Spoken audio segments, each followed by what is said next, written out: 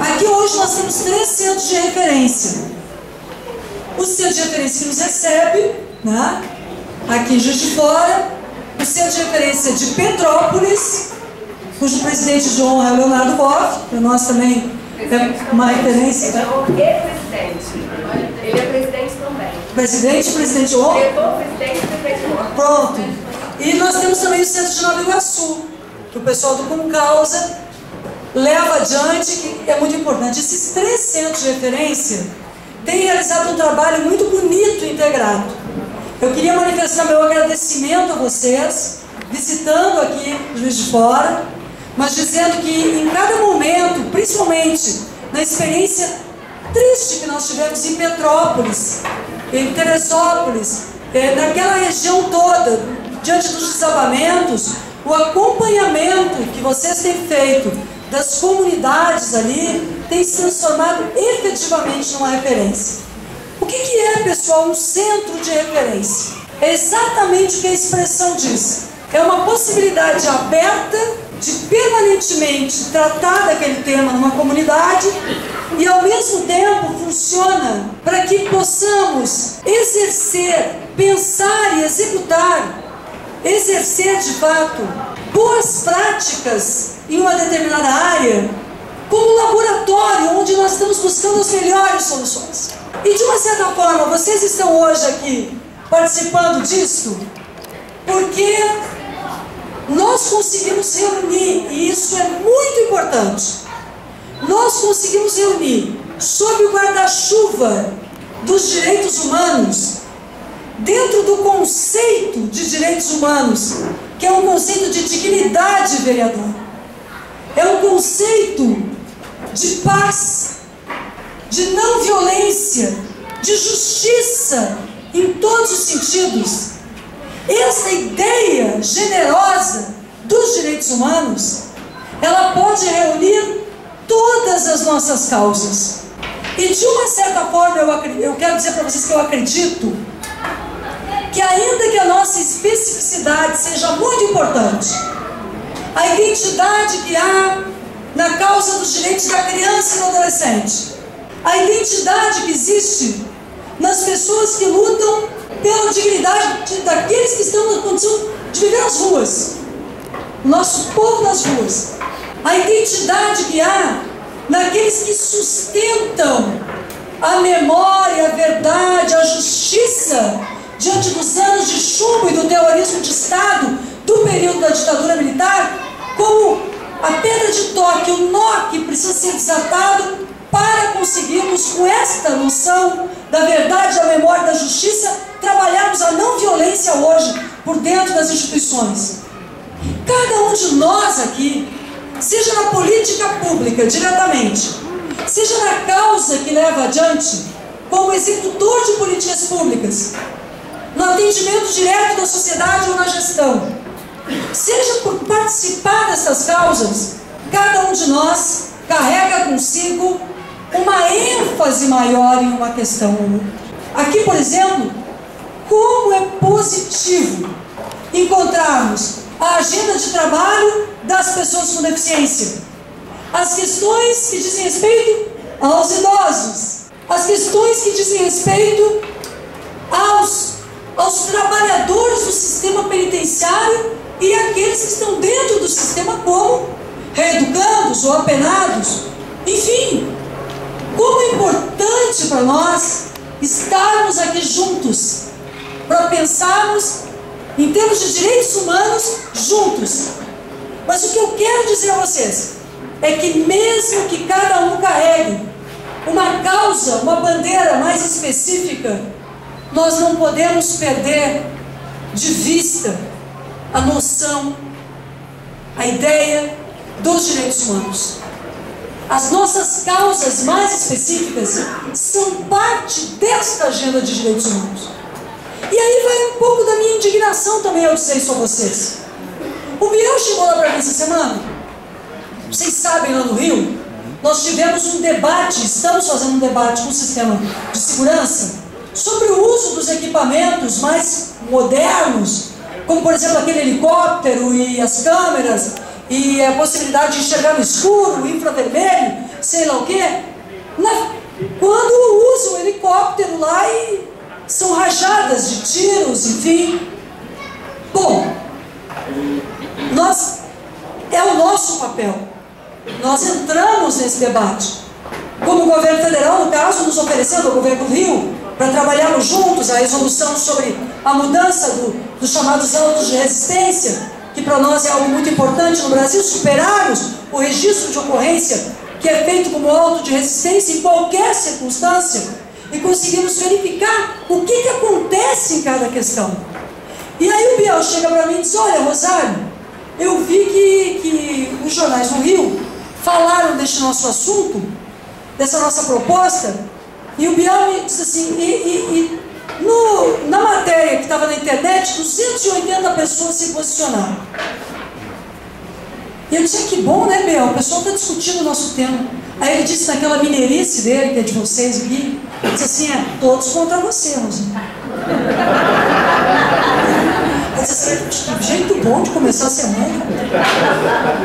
É, é duro, né, gente? É assim. Mas assim, não precisa ser assim. Por quê? Porque os meios de comunicação, que nós defendemos a liberdade, nós não queremos nenhuma censura, mas os meios de comunicação adotaram uma linha editorial no último período, que é como se os defensores de direitos humanos promovessem a violência. Inverte completamente a lógica, passando uma falsa noção sobre as soluções diante da violência, que a violência é uma situação complexa. Ela tem múltiplos fatores que a movem.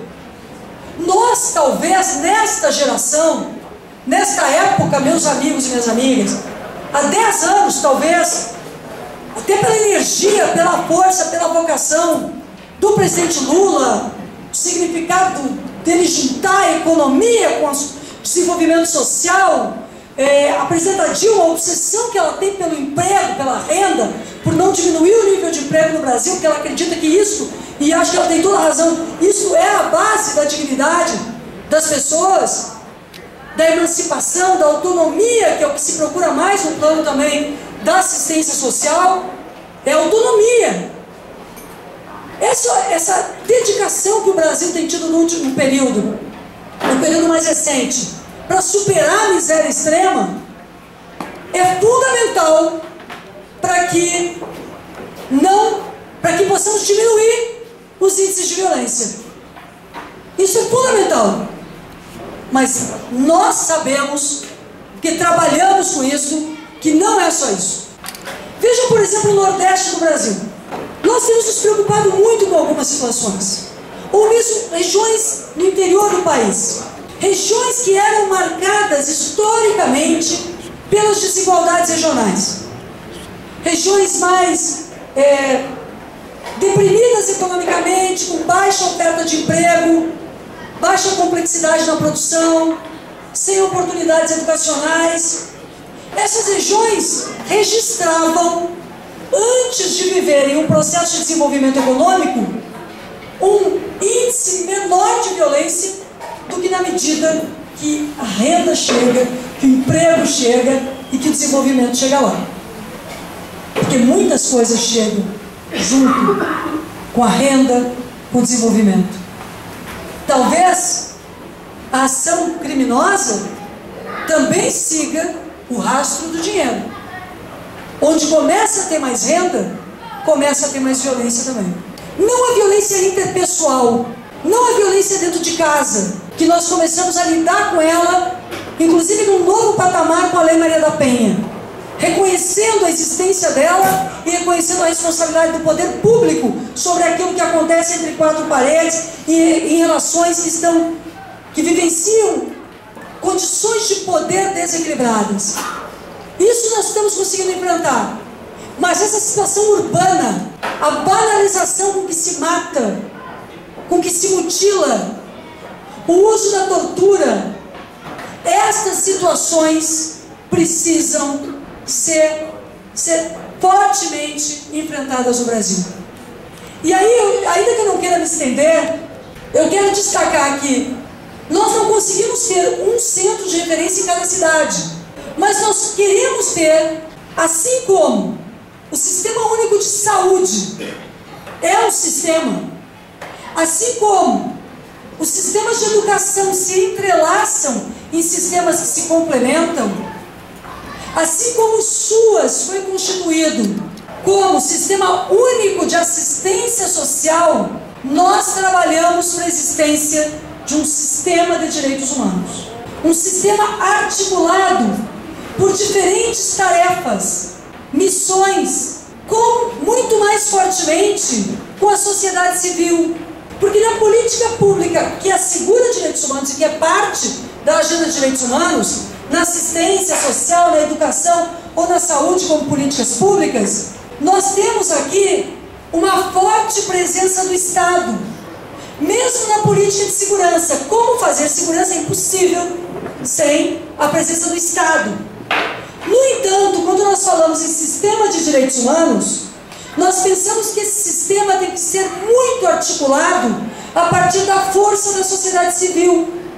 Porque a sociedade civil, no que trata de direitos humanos, ela tem uma missão para o fortalecimento da democracia, para estabelecer limites para o Estado ou ênfases para o trabalho do Estado naquilo que ele tem que aprofundar a sua atuação. Não percamos de vista em direitos humanos que a gente trabalha com promoção e defesa, com prevenção da violência e com sistemas de garantias, direitos humanos sem sistemas de garantias não existe. E ao mesmo tempo, nós trabalhamos com uma condição dupla do Estado.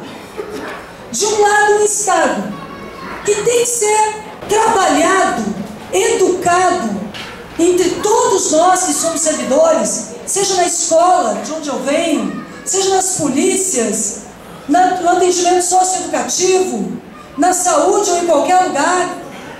Este Estado, ele precisa, de um lado, conter a sua vocação estrutural para o abuso de autoridade, para a violência institucional, e de outro lado, ele precisa ser forte o suficiente para não permitir ausências de direitos, para assegurar que todos os brasileiros e brasileiras tenham acesso ao que lhes é de direito.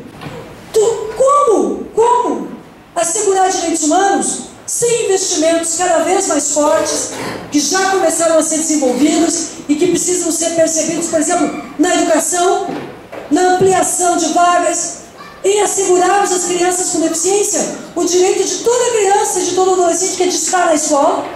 Como? É impossível.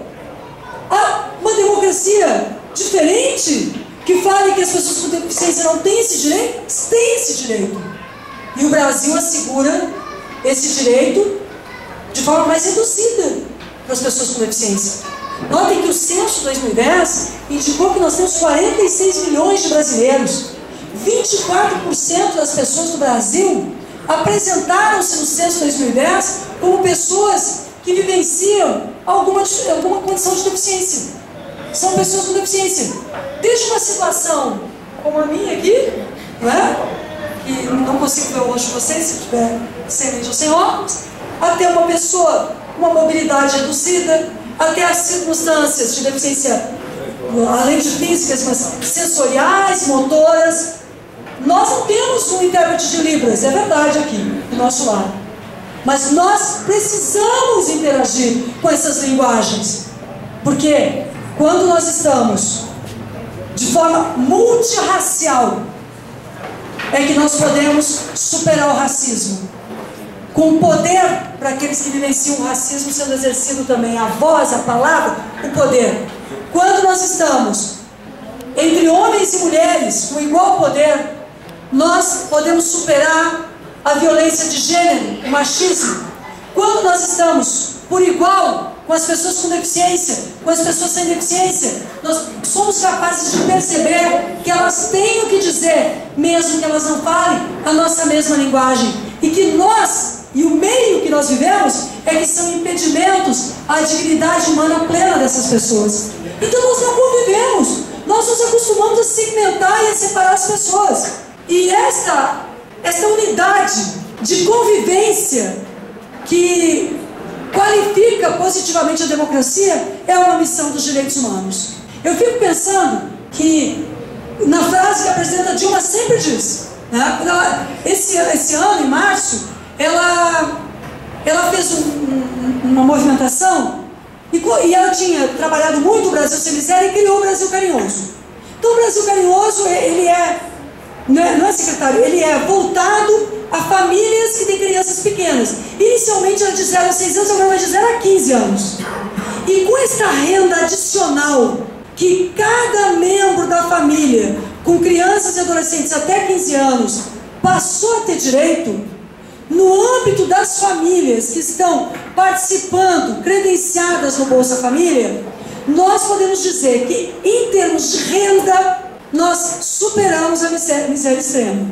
Em termos de renda, que é uma parte, mas é uma parte importante, com os mínimos necessários. Isso tem um significado muito grande, ainda que a gente saiba muito bem, porque nós lá na SBH é Biel, Biel é responsável por essa política.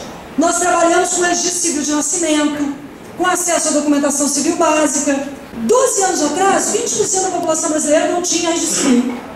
Não tinha feito. Não tinha certidão de nascimento. Todo mundo sabe para entrar no Bolsa Família, para entrar na escola, para ir numa unidade de saúde fazer uma vacina, tem que ter documento. Quem não tem documento está à margem. É a subcidadania absoluta. Hoje nós estamos, segundo o IBGE, com 6,6% de pessoas não documentadas.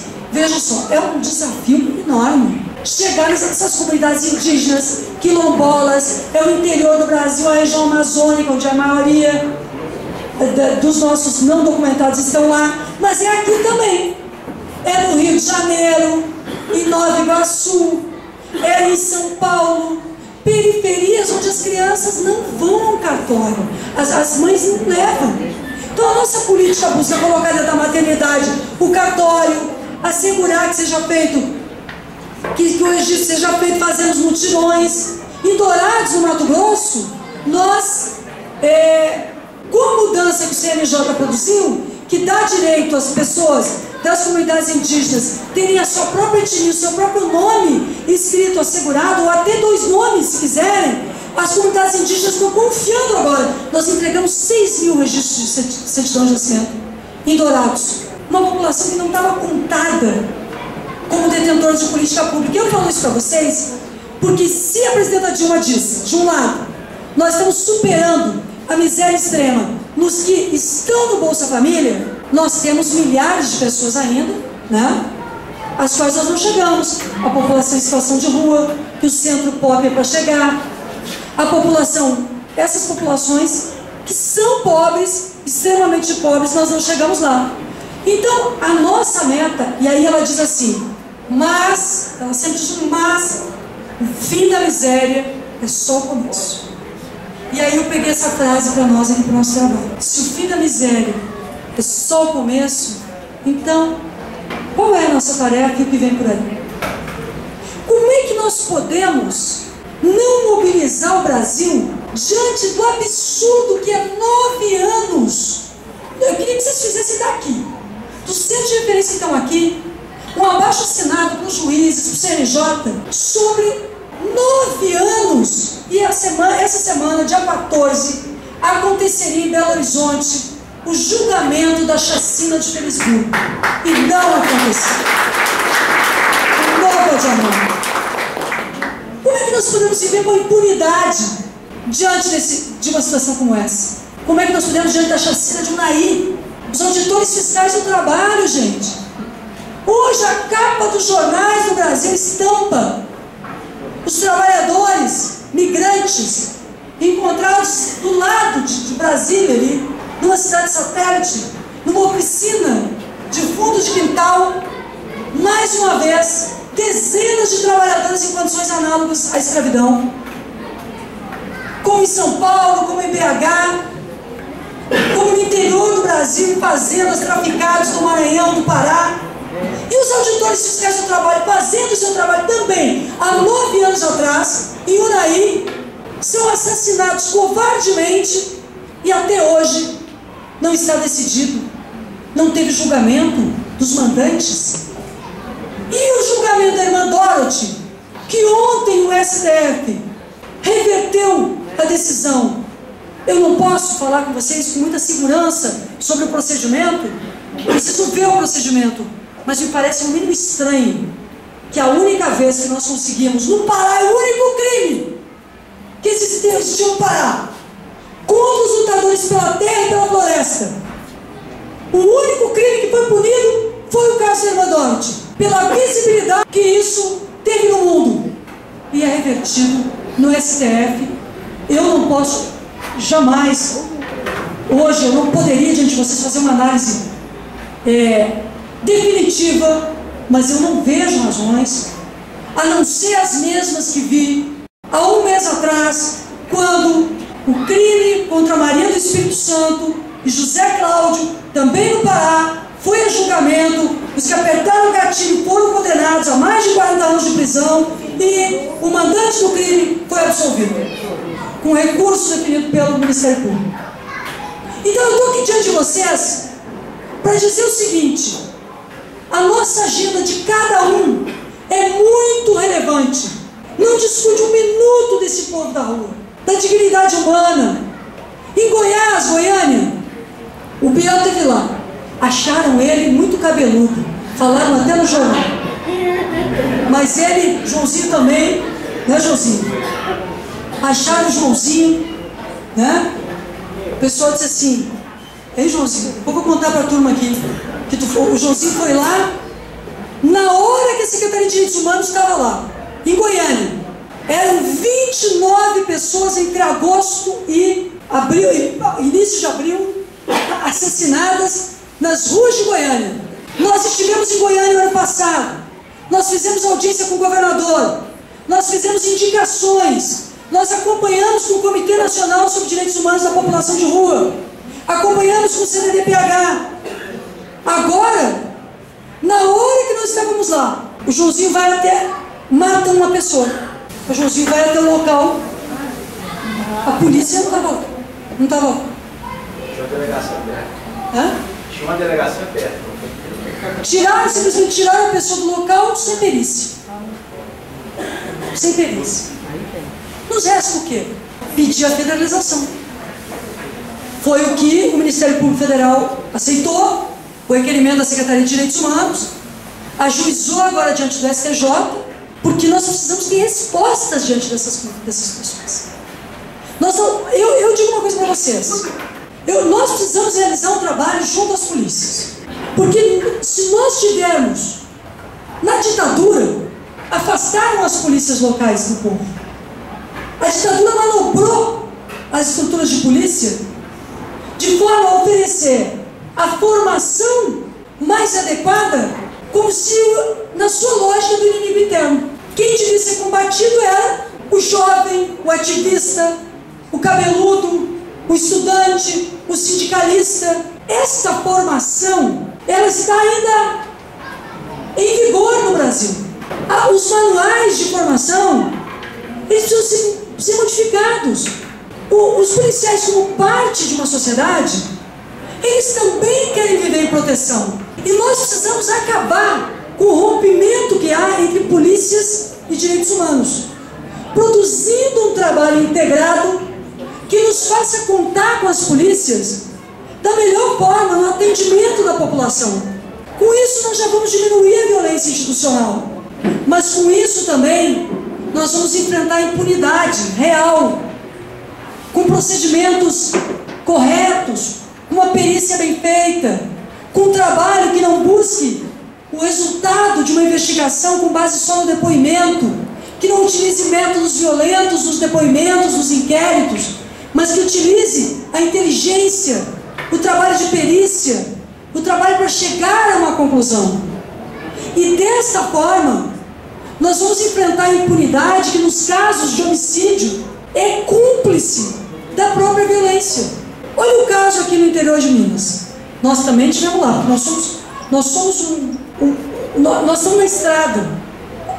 A gente trabalha muitas horas para dar conta das tarefas em Brasília, estruturais, mas nós somos promotores de direitos humanos e, por exemplo, nós vamos aos lugares tratar para fortalecer os programas de proteção à testemunha, que eu estou recebendo uma carta lá do Centro de Petrópolis, o PPK, nós temos três programas de execução direta de proteção a pessoas. O PPK, Programa de Proteção a Crianças e Adolescentes Ameaçados de Morte, que denunciam redes criminosas. O, programa, segundo programa, que é o ProVita, que é o Programa de Vítimas e Testemunhas de Violência também ameaçados, que nós retiramos de um local, colocamos em outro e temos uma rede de, de, de ação no Brasil e fora já, para conseguirmos atuar na proteção de testemunhas que possam elucidar situações criminosas e vítimas de violações de direitos humanos. E o terceiro programa que nós temos, que é o programa de defensores de direitos humanos, que está voltado para aqueles defensores de direitos humanos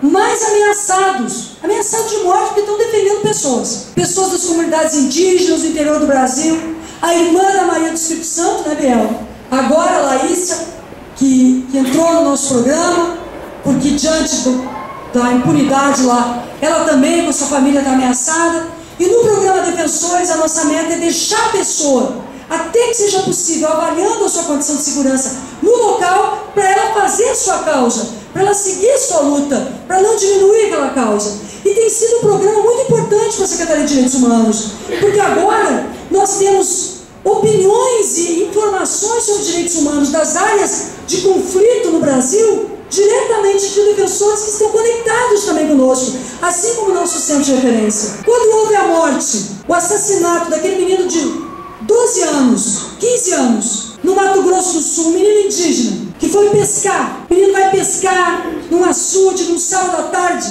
leva um tiro na cabeça. Não pode pescar no açude.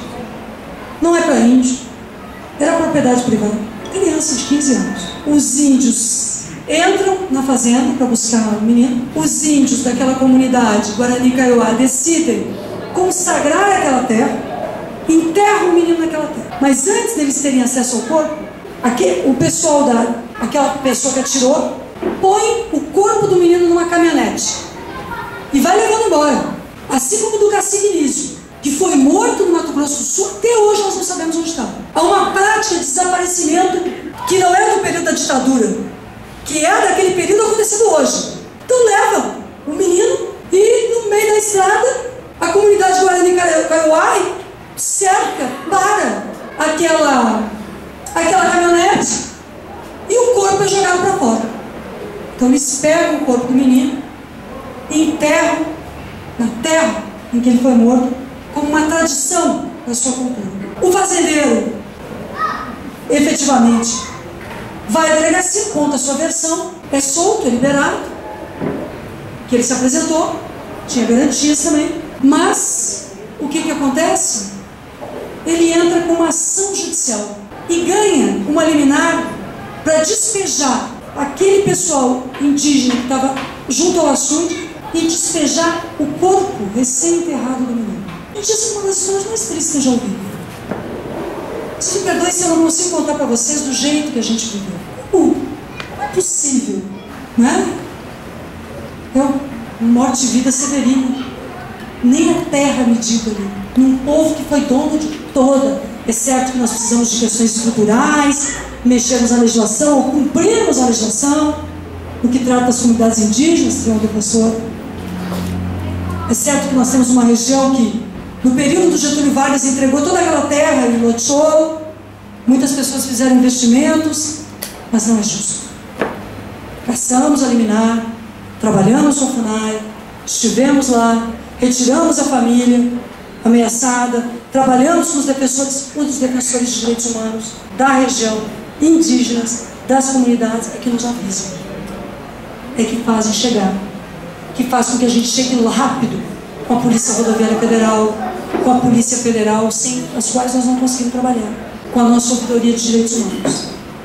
Então eu digo para vocês que ainda que tenham cada causa, pensem no sentido macro dos direitos humanos. E a nossa busca é que os centros de referência possam, não é Biel, produzir ações de caráter da política de direitos humanos, posicionando esse de forma progressista, avançada contra as violências, por legislações avançadas, que percebam aquelas, aqueles segmentos que não têm sequer a lei ao seu favor ainda, como se estão escravizados, ainda que tenhamos o Código Penal, mas não temos ainda a PEC de desapropriação de terras vigente, nós lutamos por isso, é claro que transitado e julgado, com amplo direito de defesa, mas que isso seja feito como é uma substância psicotrópica. Alguém que planta qualquer pé de qualquer coisa ali que seja psicotrópico, tem a lei, o rigor e tem que ter a terra desapropriada. Alguém que explora o trabalho escravo. Quem vai me dizer que é menos grave? Uma horda de trabalhadores escravizados. Um trabalhador. Uma atenção especial eu pediria a vocês. A um lugar que não se fiscaliza. A casa. Não se fiscaliza e não se pode por prerrogativas, fiscalizar a casa das pessoas. Mas, e o trabalho infantil doméstico? E as meninas trazidas do interior como se fossem filhas, que vivenciam não o cuidado, não a atenção, mas o trabalho duro de uma casa, na mesma idade das meninas e meninos filhos dos donos da casa, e que vivenciam o abuso, a exploração sexual. Nós precisamos fomentar redes de contato, como diz que 100, que eu também peço a vocês, seja muito mobilizado e divulgado, porque a gente trabalha muito para que esse Disque funcione, criando redes, criando lá, constituindo lá do telefonema que chega. A primeira etapa da rede do 100 é a motivação da pessoa telefonar. 24 horas por dia, 7 dias por semana. E a gente ter lá uma equipe que a gente investe na formação permanente para atender com dignidade. Mas esse telefonema não fica guardado para nós. Esse telefonema imediatamente é repassado para o Conselho Tutelar, para a Prefeitura Municipal, quando a gente tem uma estrutura de parceria, uma situação de idosos, por exemplo, de pessoas com deficiência, com as polícias e o Ministério Público. Na área da infância, nós conseguimos assinar um acordo de cooperação com cada Ministério Público do Brasil e a nossa denúncia que chega para nós chega online na mesa do promotor. Então ele vai, ela vai, promotor, promotora, acompanhar o desdobramento daquela situação de violência que está sendo denunciada. Nós estamos nos esforçando para construirmos então redes de políticas públicas com um olhar para cada segmento. Eu dizia daqueles que não têm a lei, a comunidade LGBT, que não conta com nenhuma lei do ponto de vista macro, na Constituição Federal, a comunidade LGBT está. Há uma referência clara, por óbvio. Todos são iguais perante a lei.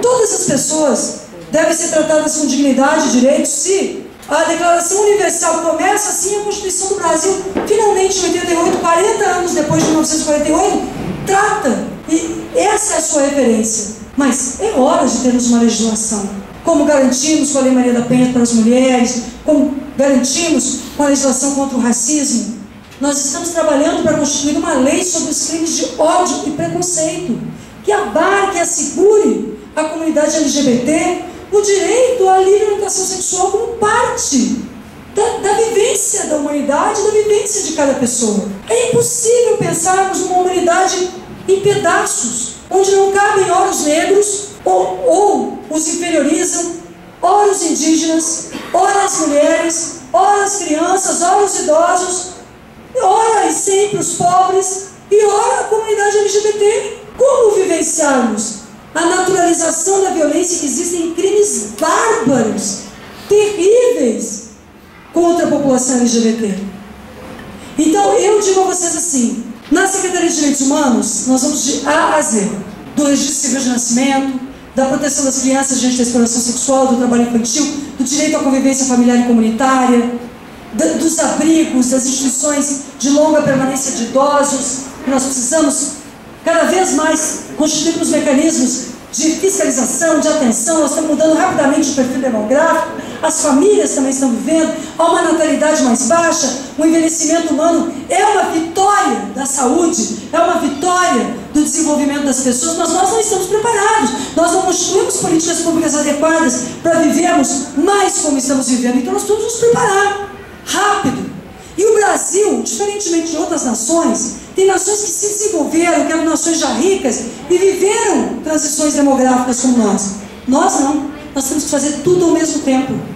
Porque durante muito tempo nós fomos parados no tempo em termos de direitos humanos, de direitos sociais. Primeiro, do ponto de vista dos direitos, as liberdades civis e democráticas que foram trucidadas no Brasil. Com a perseguição, a morte, a tortura, o desaparecimento forçado como prática de Estado. Isso que foi feito no Brasil. Na ditadura civil e militar. Naqueles que se enriqueceram no período da ditadura também, se valorizando a partir das suas conexões é, nefastas com o poder. Por outro lado, se os direitos civis e políticos viveram, nós vivemos tão pouco, é tão recente, nós temos 25 anos de democracia. É muito pouco para uma nação. Todos os períodos democráticos foram cortados, sempre. As ditaduras sempre bateram na porta. E isso não pode mais acontecer. A nossa opção tem que ser definitiva pela democracia com todas as suas imperfeições. Definitiva pela participação, pela liberdade, pelo diálogo entre os partidos, pela possibilidade de livre opinião, de livre posicionamento, de nenhuma censura. Agora, a democracia ela é mais ampla do que o direito de votar. Ela é o direito de participar, de dizer, de falar com o governante, de dar opinião, ela é o direito também que está no plano dos direitos humanos, econômicos, que nós estamos fazendo com a superação da miséria extrema e o desenvolvimento, os direitos sociais que constituímos como direitos que nós podemos cobrar, que a legislação assegura, os direitos econômicos, sociais, ambientais, que é o direito ao desenvolvimento, percebendo de forma até holística, que é o que Leonardo Boff nos orienta como filósofo, uma, um mundo onde nós não somos nada diante do meio e da natureza e que, sinceramente, se nós não percebemos a nossa conexão com a natureza, com o meio ambiente, nós vamos morrer na medida em que o destruímos, nós vamos é, sucumbir a um modelo de uso, a um modelo utilitário que o mercado, quando é rei absoluto e poder absoluto, tem diante de tudo que existe. Então, a afirmação dos direitos humanos é isso também, é a dimensão ambiental para a qualidade de vida perene, com sustentabilidade. E é também a dimensão cultural. Cultural não como a cultura erudita, mas como também acesso ao que há de culturalmente produzido. Não há, nós não podemos mais reconhecer a existência de uma alta cultura, de uma baixa cultura. Nós temos que reconhecer culturas diferentes que interagem. E o Brasil é o país certo para isso. Nós somos. Eu ouvi esses dias e me deu uma alegria imensa ouvir a presidenta Dilma dizer que bom que nós somos brasileiros. Por vários motivos, ela, ela disse ali numa reunião que bom que nós somos brasileiros. Eu fiquei pensando naquilo e eu quero repetir diante de vocês. Nós podemos fazer dessa nação muito mais do que talvez tenhamos sonhado. Nós podemos realizar. Basta verificarmos o valor humano que nós temos a diversidade que existe e valorizarmos essa diversidade. Por isso, quando ela diz o fim da miséria é só o começo, eu penso que o próximo passo que vem junto assim é são os direitos humanos, a superação da violência, a instituição do que significa paz com justiça. Estes significados devem estar fortemente plantados na nossa mente, porque isso não se faz só com o Estado, a mudança cultural que nós temos que promover acontece se acontecer com a sociedade. O Estado não é patrão, não é pai ou mãe da sociedade. O Estado deve estar sob o olhar e o controle da sociedade. Ele não diz e a sociedade realiza. Na democracia é livre. Os indivíduos pensam, existem. E isso é que é maravilhoso. E o que eu fundamentalmente acredito que o papel da Secretaria de Direitos Humanos da Presidência da República, como órgão de auxílio à Presidência da República, integrado à Presidência da República, é fomentar, é posicionar a Presidência da República e o governo federal diante das injustiças, é cobrar das instituições e fazer a sua parte como governo federal, é verificar as nossas próprias contradições, porque nós temos muitas, e talvez na superação das nossas próprias contradições, possamos ter a credibilidade, palavra fundamental necessária, de ganharmos, seja os meios de comunicação que eu citei aqui, seja a própria população de um modo geral, para a noção de que nós podemos viver sem violência, de que nós podemos ser um país com menos violência, que a violência seja uma absoluta exceção, um ponto fora da regra e não seja jamais naturalizada na vida das pessoas. Essa é a missão do Centro de Referência de Direitos Humanos, como eu acredito, ainda que vocês me ensinem dessa missão todos os dias também, e é a tarefa que a gente tem muito orgulho de realizar com vocês, seja aqui em Juiz de Fora, seja no Rio de Janeiro, em cada canto do Brasil. Muito obrigada pela atenção de vocês.